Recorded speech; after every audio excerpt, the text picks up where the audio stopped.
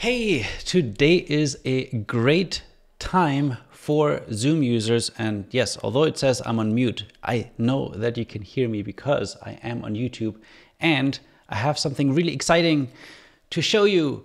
We can now format chat messages. We can add headings, we can make text bold, we can change the color, highlight things, bullet points, lists, quotes, adding links.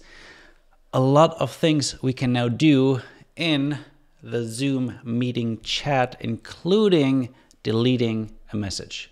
How great is that? Let's jump right in and I'll show you exactly how to enable this feature, how it works.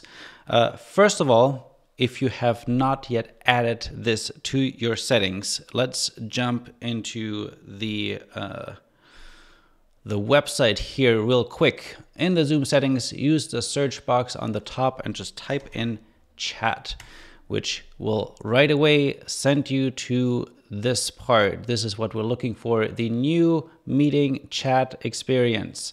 Allow meeting participants to use new meeting chat features, including threaded replies, text formatting, quoting, and inline image preview. Additional features can be configured below. All right, let's turn it on. Um, allow participants to delete messages. Yes, I have that enabled.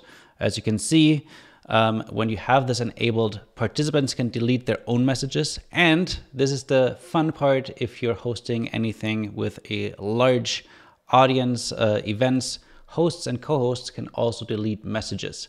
This is great when people post things that might be um, not following your meeting guidelines. And then we can also enable screenshot feature. I have not tried this yet, um, but when this is enabled, participants can send screenshots during the meeting. All right, um, I'm not sure if I'm gonna be using this. Definitely gonna be excited about the chat feature. So let's jump back into Zoom and I'll show you what that does. Um, hold on, let me make one of myself disappear.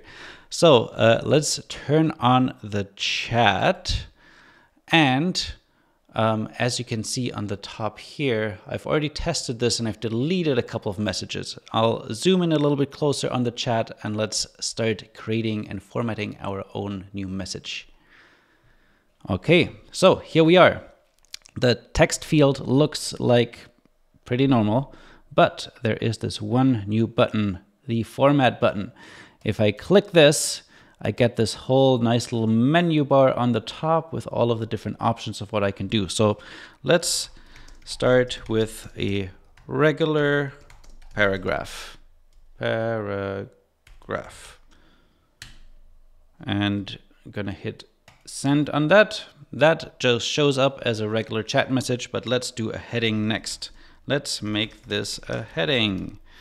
All right, gonna highlight this um, we can go to headings, make this heading one. We can uh, then go back to paragraph, add a bullet point.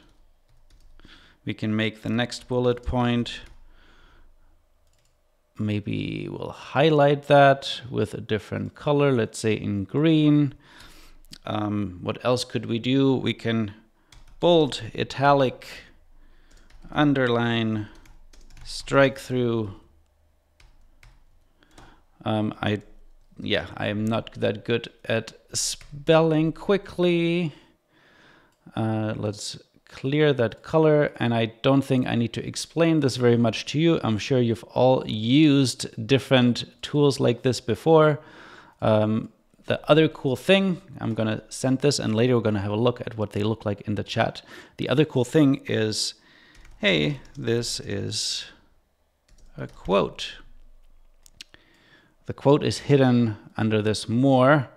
We can add a quote, which now shows up like this. And let's actually jump back into Zoom and you can see on the side here what all of those messages look like, right? So we do have some formatting, which I think is great if you are sharing instructions for activities for your Zoom participant, participants in the chat, just makes it so much easier for them to find it, for it to stand out between the other text. Of course, everyone has that feature. All the participants can format their text their chat messages as well. So we need to make sure that we set some guidelines around that not being misused. But I think this is a really great step forward in making chat much uh, much better tool in Zoom. And I've heard that and at Zoomtopia at the conference that they had this week, they're planning to add a lot more chat features in the future. I would love to be able to react, like give a thumbs up to a chat message right now. The only thing is I can copy, I can quote, I can delete. So if I wanted to delete my quote, it will actually ask me to confirm. This action cannot be undone. Delete. But I can also quote somebody else's message, which will just actually put the whole uh, message that they wrote into these quote marks. And then I can say, um, I agree. I can also see the other thing that has changed. If you hit enter, it's not actually sending it right away anymore, which needs some time getting used to because usually I would say send a chat message, hit enter, and it would go. But as you can see um, over here, uh, it now just creates a new paragraph, which is also awesome because sometimes I wanted to add a couple of paragraphs in my message and it will always send it way too early. So um, checking command, no, shift, no, control. Okay, control enter gets the message actually sent out quicker. There we go. We learned something new here together.